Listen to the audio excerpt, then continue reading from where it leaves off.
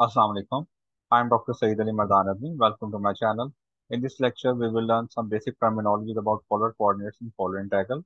We will also learn how we can transform a Cartesian integral into polar integral. So first of all, what is a polar coordinate system? A polar coordinate is a system used to locate points in two-dimensional plane. A point in polar coordinate is represented by r and theta, where r is the distance of the point from the origin, and theta is the angle measured counterclockwise from positive x-axis. In this diagram, we have a two-dimensional plane. P the points whose coordinates are r and theta. Now, what is r? r is the distance of this point from the origin, and theta is the angle measured in counterclockwise direction with positive x-axis. Now, these are the transformation equations through which we can transform a Cartesian coordinate system into polar coordinate system. X is equal to r cos theta, y is equal to r sin theta. And these are the reverse equations. r square is equal to x square plus y square and theta is equal to tan inverse of y over x. Now, what is the polar integral? On the left hand side, you can see a polar integral is written in general form double integral over the region r f of r of theta dA so in polar integral, we have a function of two variables, r and theta. dA is a small patch of the region. Here, for example, this is our region.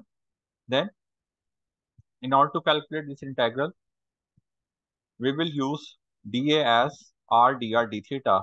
Please remember, in Cartesian coordinate system, we can choose dA as dx dy or dA as dy dx. But in polar coordinate system, we will use dA as r dr d theta always. This order is fixed in polar coordinate system. Now, since r is our inner variable, so limits of inner variable may be constant, may be variable, but the limits of outer variable are always constant. Now, in order to calculate limits of r, we will use arrow technique, and for this purpose, we will pass an arrow through our region.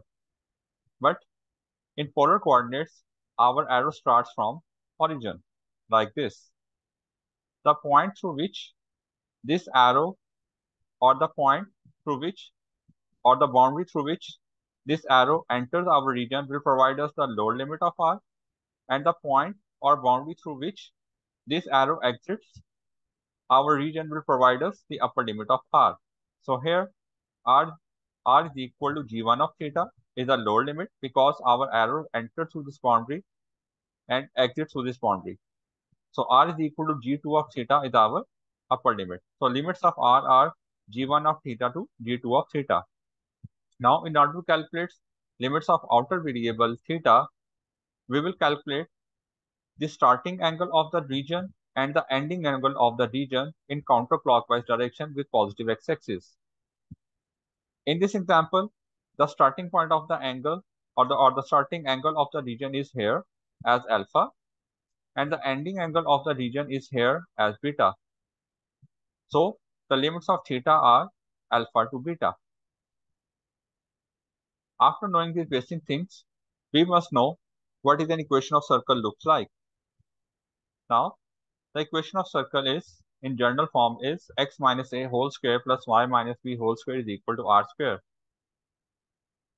where the center of the circle is AB and radius is r. Now, if we take AB equal to 0, means we shift the center of circle at origin, then equation number 1 can be represented as x square plus y square is equal to r square. Equation number 2 is equation of circle whose center is at origin and radius is r.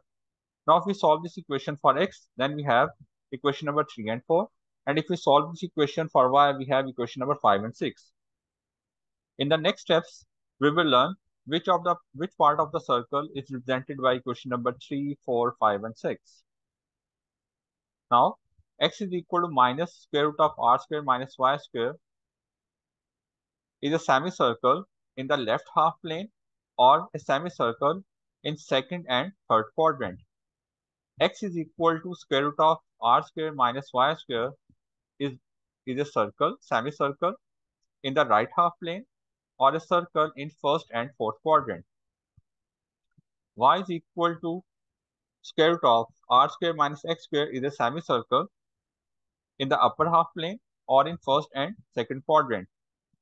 y is equal to minus square root of r square minus x square is a semicircle in the lower half plane or in third and fourth quadrant.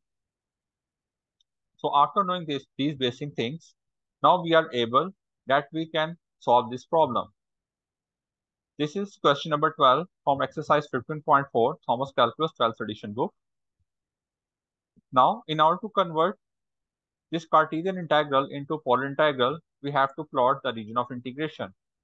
And in order to plot the region of integration, we need the boundaries and these boundaries are obtained from the limiting value of the variables. The limits of x is minus a and plus a. Now x equal to minus a and x equal to plus a is equation of vertical line. x equal to minus a is equation of vertical line which passes the point where the value of x is minus a along x-axis. And x equal to a is equation of vertical line where the value of x is taken as a along positive x-axis. Now, y is equal to minus square root of a square minus x square is equation of semicircle in the lower half plane with center at origin and radius a. And y is equal to square root of a square minus x square is equation of semicircle in the upper half plane with center at origin and radius a. In the next step, we will plot these boundaries.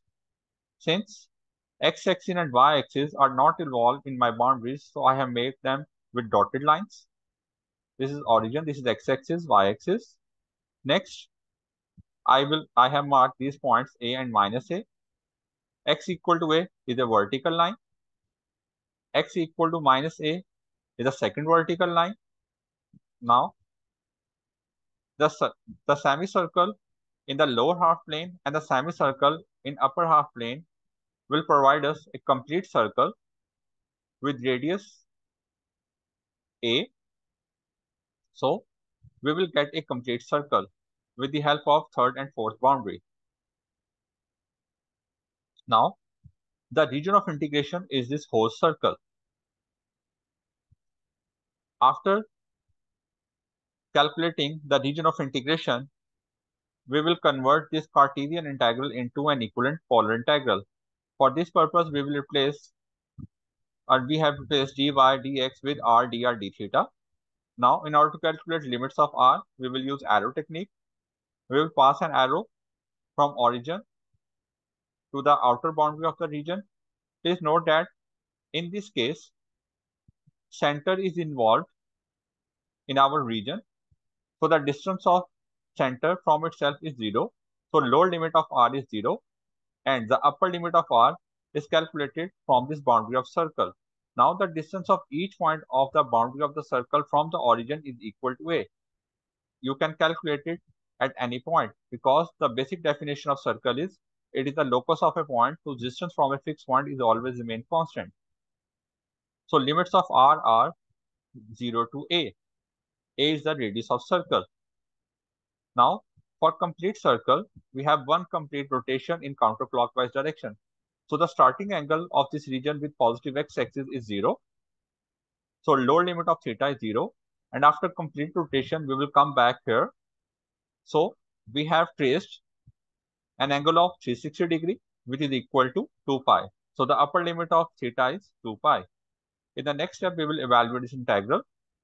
In order to evaluate this integral, you must know these two formulas.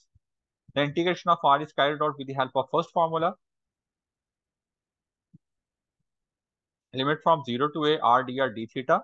Integrating this, we get r square over 2 for the limit 0 to a. In the next step, applying the limits, upper limit minus lower limit. For upper limit, we have replaced r with a, and for lower limit, we have replaced r with 0.